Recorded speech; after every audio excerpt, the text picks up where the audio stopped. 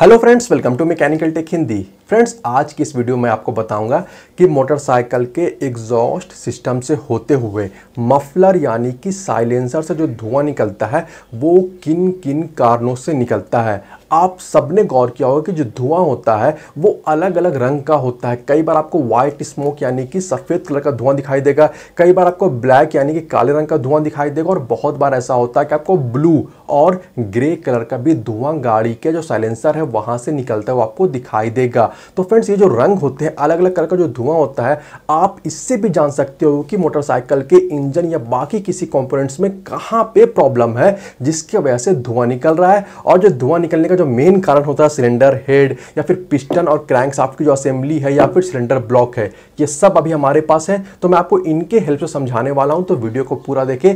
और अगर आप चैनल पे नए हो तो चैनल को सब्सक्राइब भी ज़रूर कर ले।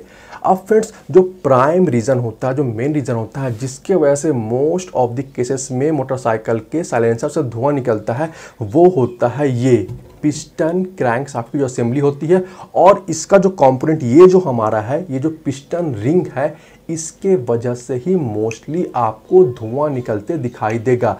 अब जब ये जो पिस्टन रिंग है, या तो ये कट जाए, या तो इस तरह वेयर आउट वगैरह हो जाए, या किसी तरह से इसका मतलब कि ये अपना काम सही से नहीं करे, और मैं आपको पहले ये बताता हूँ कि ये एग्जैक्टली ये पिस्टन रिंग काम क्या करता है। देखिए, हमारे पास क्या है ये? ये हमारे पास एक सिलेंडर ब्लॉक है, यहाँ पर आप देख सकते हो सिलेंडर है। अब ये जो पिस्टन है, वो कुछ इस तरह से मैं आपको दिखाता हूँ। इसके अंदर में रहता है, ठीक है? ये जो अंदर में आप जितना भी एरिया देख रहे हो, इसके अंदर में पिस्टन का up and down up and down movement होते रहता है। और ये जो पिस्टन रिंग है जिसके बारे में मैंने आपको बताया, वो क्या करता है कि जो सिलेंडर का ये जो वॉल है, उसको सील कर देता है पूरी तरह से। यानी कि इधर जो हमारा एयर और जो हमारा पेट्रोल है, वो नीचे नहीं जा सकता है और जस्ट इसके नीचे में, ओके, मैं आपको दिखाता हूँ, इसके नीचे से क्या होता है कि इंजन ऑयल, यानी कि जो मोबिल होता है, उसका स्प्रे होता है। तो इसकी भी ज़िम्मेदारी पिस्टन रिंग की होती है कि जो हमारा सीलिंग है, वो बढ़िया से रहे और जो इंजन ऑयल है वो ऊपर नहीं जाए, यानी कि इंजन ऑयल। और जो पेट्रोल है वो आपस में मिक्स नहीं हो, इसकी पूरी ज़िम्मेदारी होती है पिस्टन रिंग की।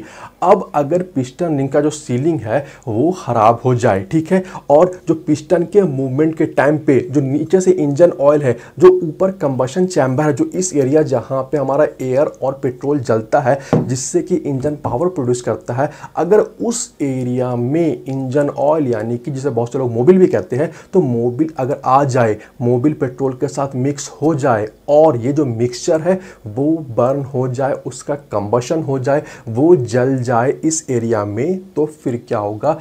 उसी के वजह से आपको मोस्टली ब्लैक कलर का या फिर ब्लू कलर का जो हमारा एग्जॉस्ट धुआँ निकलता है, वो दिखाई देता है। तो पहला रीज़न है जब हमारा पिस्टन रिंग अपना काम सही से नहीं करे और सीलिंग जो है वो ठीक नहीं हो।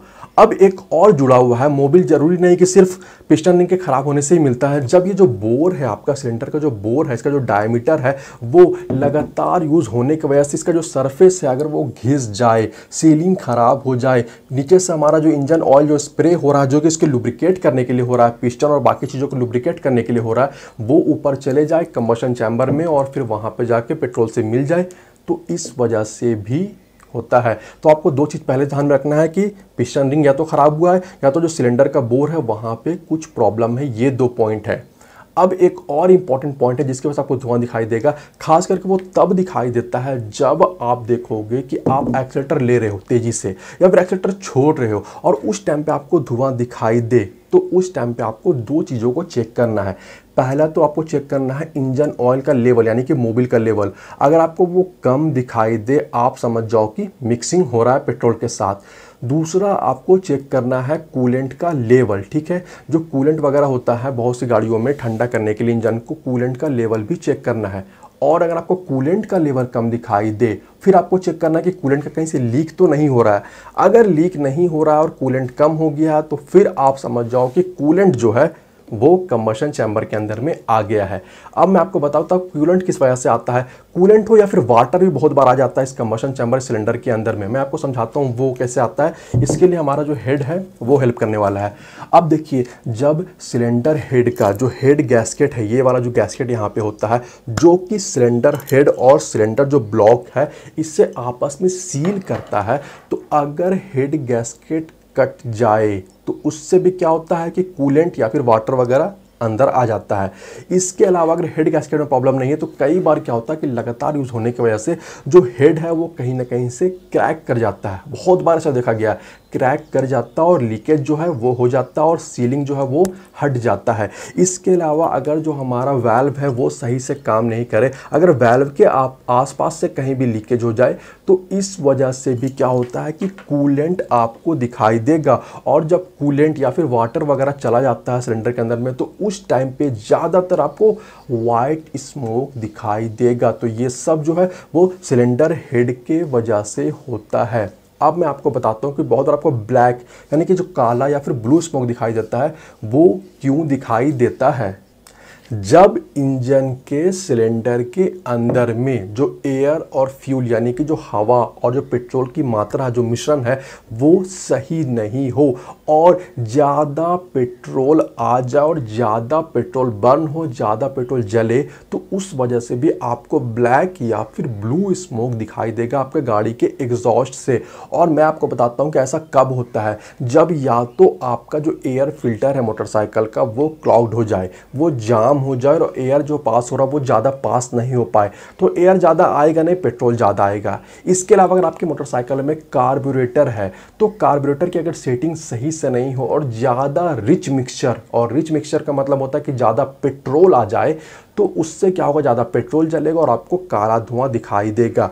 इसके अलावा अगर आपका एफ़ आई बाइक है फ्यूल इंजेक्टेड बाइक है तो जो फ्यूल का इंजेक्टर है, वो सही से काम नहीं कर रहा है। जो फ्यूल का लाइन है, वो अगर किसी वजह से क्लॉक्ड वगैरह हो जाए तो इस केस में भी आपको ब्लैक स्मोक दिखाई देने वाला है आपके गाड़ी के एग्जॉस्ट से।